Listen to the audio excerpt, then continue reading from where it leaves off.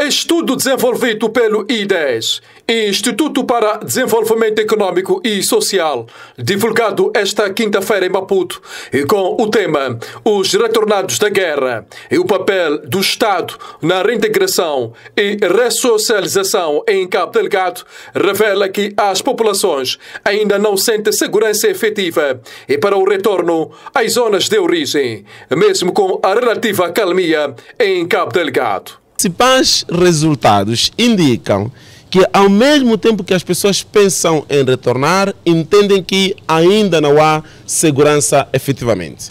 Em segundo lugar, eles entendem que quando retornarem, o essencial para a vida, a habitação, a água, a alimentação e tudo isso ainda não estão em condições de encontrar nesse local de origem. Mas há um terceiro elemento que nós também identificamos: a questão de quem vai fazer a limpeza quando amanhecer.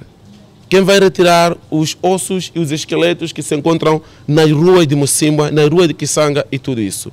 Vem a questão do trauma, que é um elemento que nós identificamos nesse estudo e entendemos que a partir desse momento estamos em condições de desenvolver um outro programa chamado Apoio Psicossocial dos retornados de guerra nas suas zonas de origem. Porque só assim estamos sim em condições de realmente as pessoas retornarem com segurança em primeiro lugar, em segundo lugar também retornarem com algum tipo de apoio moral. Para entenderem que nós voltamos ao local onde nós tínhamos saído. Porque havia algum tipo de insegurança, mas a insegurança já foi ultrapassada e também as questões que nos lembram as situações limite, as situações tristes, também nós já estamos a outra.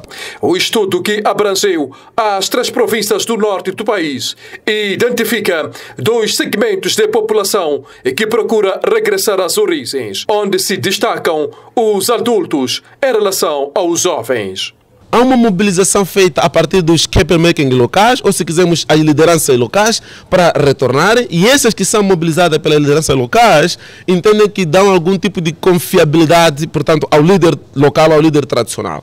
Porém, principalmente os jovens, que têm um pouco mais de capacidade de se adaptar ao novo meio, esses não querem retornar, porque entendem que já reconstruíram as suas vidas na zona onde eles foram realocados. Mas um pouco mais adultos, as senhoras, um pouco mais velhos, entendem que têm que retornar para voltar a cuidar das suas machambas, das suas árvores e tudo isso na sua zona de origem. Então, há dois níveis da questão da segurança. Os jovens entendem que não podem retornar porque a segurança ainda não se instalou, mas um pouco mais adultos, mulheres, acoplados às lideranças tradicionais, entendem que já há algum tipo de segurança nessa região.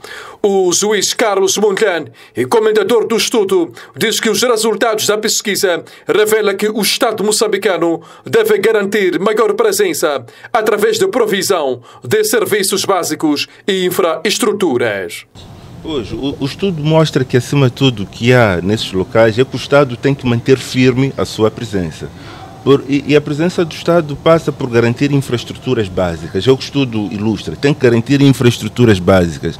É preciso que haja hospitais, que haja postos policiais, haja unidades que fornecem alimentos para esses uh, retornados. Porque, de outro modo, há uma tendência, porque está-se a falar do ambiente de guerra, há uma tendência dos próprios terroristas fazerem uso uh, da sua condição, naquilo que o Estado não é capaz de prover, para se afirmarem no lugar do Estado e estarem a obter créditos indevidos. Na verdade, é isso que o estudo apontou. E o estudo chama a atenção que o Estado, de modo nenhum, pode deixar de cumprir as suas responsabilidades, até porque outro elemento flagrante que o estudo mostra é a própria questão da desinformação.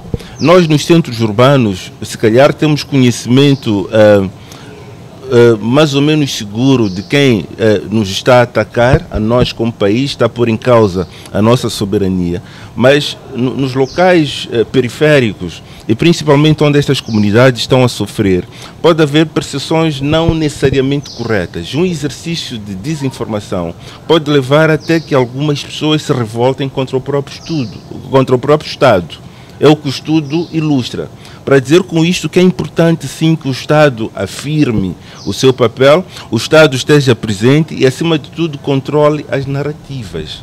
Desde 2017, o terrorismo na província nortenha de Cabo Delgado já provocou mais de um milhão de deslocados internos e cerca de 4 mil mortes, e segundo dados oficiais.